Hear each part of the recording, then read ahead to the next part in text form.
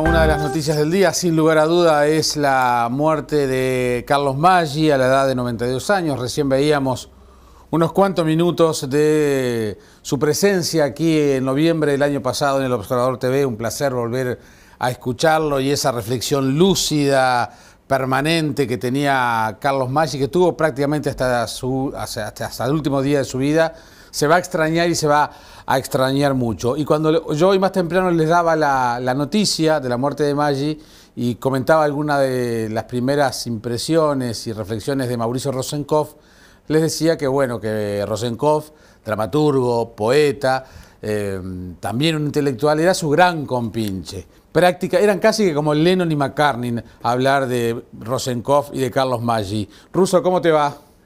Y, y acá, este, y fíjate que hoy, eh, anoche hablamos con el pibe, quedó como siempre, eh, me, eh, me pasaba a buscar y como venía de Venecia, donde Marco, el hijo, este, representó Uruguay en la Bienal, este, el, el último, lo último fue, de, venite con la góndola que te espero en la reja.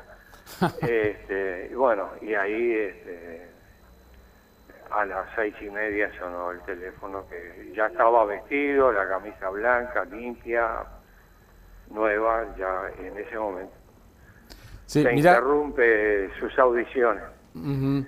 Y, y bueno, te diría eh, que son tantos años juntos, pero mira, inclusive te, te cuento eh, te cuento algo del pibe. Este, el- las primeras líneas del mundo exterior que me llegan cuando yo estaba en el noveno caballería, me los manda el pibe y Pocha. María Inés Silva Vila. Sí. este, dos líneas escritas, como decía José Bergamín, con los amigos en todas. Tomá nota.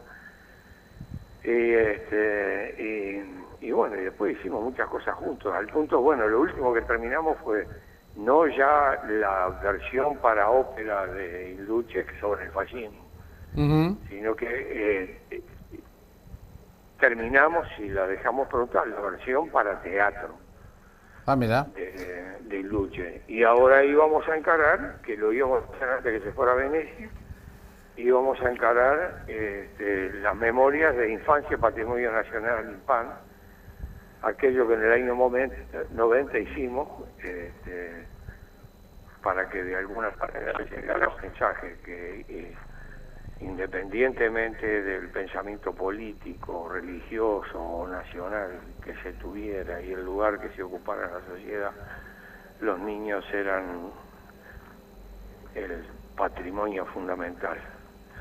Y entonces eh, ahí lo hicimos con el general Medina, con Danilo Astori, Sí. eh, con eh, Monseñor Galimberti, bueno, era mucha gente, bueno, fue, fue un hito para que tuvieran los niños en las escuelas.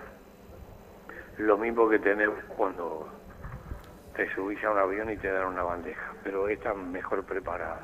Me acuerdo perfectamente porque además fue un símbolo el hecho de sentarse a una misma mesa, este, tanta gente tan diferente, que pensara tan diferente en favor de un objetivo común que no, que no correspondía que hubiera eh, diferencias de tipo político, de tipo ideológico. Nada, Eh, eso cada bueno, cual tenía su postura, pero fuera, fuera de ahí.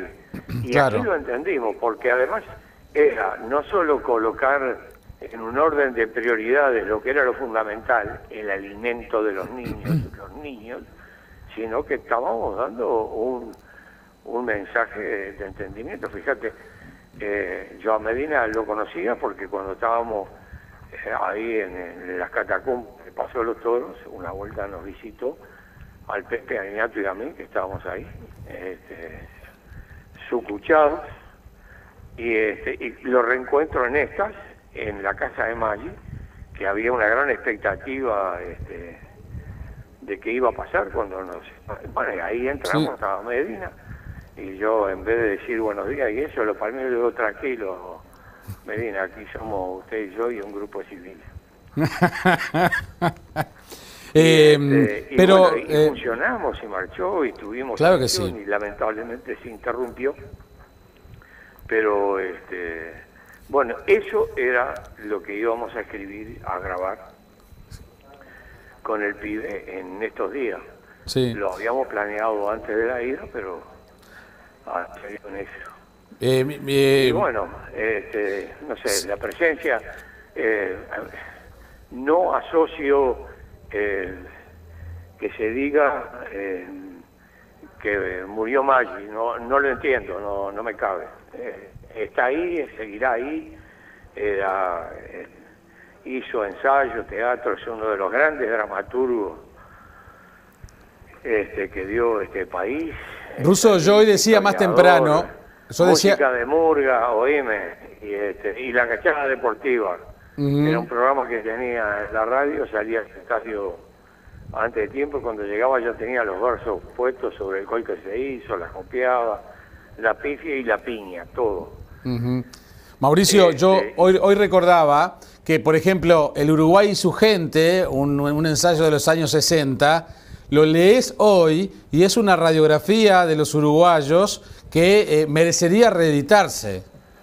Ah, sí, seguro. No, no, todo eso se va, se va a reeditar. Además, un, eh, un pensamiento, nunca dejó de ser ballista. Creo que se, lo que se está plantando ahora es el, el ballista más nítido que, que, va, que va quedando. Fíjate, incluso en el año 71, este, eh, supera el disgusto que le podía provocar a Maneco, que también era candidato, cuando pasa a integrar la Comisión de Cultura con eh, Martínez Moreno este, en los primeros días del Frente Amplio de Sereni.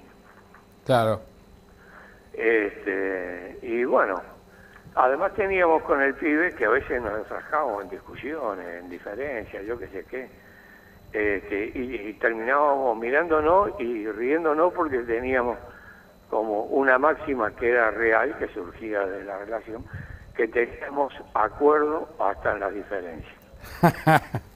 bueno, queríamos, eh, te agradecemos mucho que nos hayas atendido, queríamos conversar por lo menos, eh, recordar estas cosas que, que, bueno, que te unen a, a Carlos Maggi, además este, tuvimos la suerte, eh, tuve la suerte yo de estar junto a ustedes justamente en el lanzamiento del Duche en el Teatro Solís. Eso, eso sería bueno tenerlo. ¿eh? sí. Porque además, este, y bueno, ahí le dábamos.